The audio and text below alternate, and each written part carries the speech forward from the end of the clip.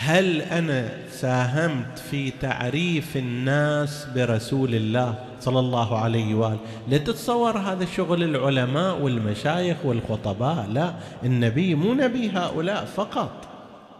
النبي نبينا جميعا والمسؤولية كما هي عليك علي وعلى هذه وعلى تلك على الجميع. بمقدار ما يستطيع الإنسان أن يذب عن رسول الله صلى الله عليه وآله أن يعرفه أن يدافع عنه. إحنا نفتخر بأن إمامنا هو أمير المؤمنين علي بن أبي طالب سلام الله عليه اللي كان يدافع عن النبي طيلة حياته من صغر سنه عمره ثمان سنوات. بدأ الإمام أمير المؤمنين يدافع عن رسول الله. وإلى أن توفي رسول الله صلى الله عليه وآله. طيب هذا النموذج المشرف هو إمامي أنا ماذا دافعت عن رسول الله صلى الله عليه وآله؟ كم ذببت عنه؟ كم دافعت عنه؟ كيف نشرت عنه؟ بالمقدار الذي أستطيع بحيث لو يوم القيامة النبي صلى الله عليه وآله سألني ماذا صنعت لي؟ أنا صنعت من أجلكم. يا أيها المسلمون كل ما أستطيع إلى الحد اللي الله قال لي خفف على نفسك. شايف بعد؟ ماكو عندنا نبي خطب في القرآن بأنه خفف على نفسك. كافي بعد لا تهلك نفسك عليهم ما تسوى القضية. هذا الله يقول الله الرحمن الرحيم. بالبشر يقول للنبي أنت واجد رحت زايد في الموضوع فلعلك باخع نفسك على آثارهم إن لم يؤمنوا بهذا الحديث أسفا. تقتل نفسك علشانهم ما يحتاج ما أنزلنا عليك القرآن لتشقى. خليهم ليس هكذا ليس مطلوب من عندك هالمقدار.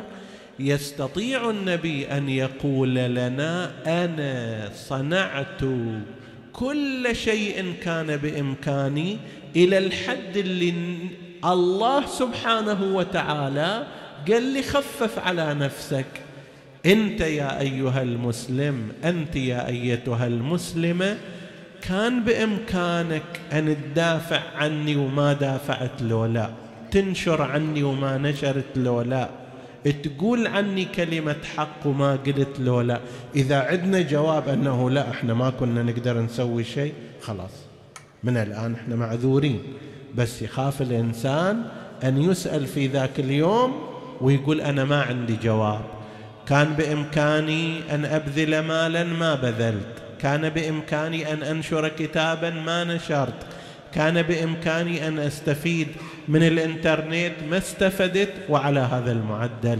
تعريف النبي صلى الله عليه وآله للبشرية اليوم أكثر ضرورة من أي وقت آخر خصوصا أن هناك جهات تشوه النبي بأفعالها وأعمالها. يعني إذا تعطي صورة سيئة عن النبي إحنا ينبغي أن نبادر لكي نبدي ونظهر هذه الصورة الحسنة ونحن بحمد الله أتباع مذهب أهل البيت عليهم السلام. عندنا القدرة على ذلك. أحاديثنا ما فيها أحاديث مشوهة لصورة النبي ولا ممارساتنا أيضا. الحمد لله شيعة أهل البيت باتباعهم لهدى آل محمد وانقيادهم لمراجعهم الدينية. أعمالهم وأفعالهم منضبطة موزونة لا تشوه الدين. طيب فإحنا عندنا قدرة لو أردنا أن ننشر اسم رسول الله وفكر رسول الله وعمل رسول الله وشخصية رسول الله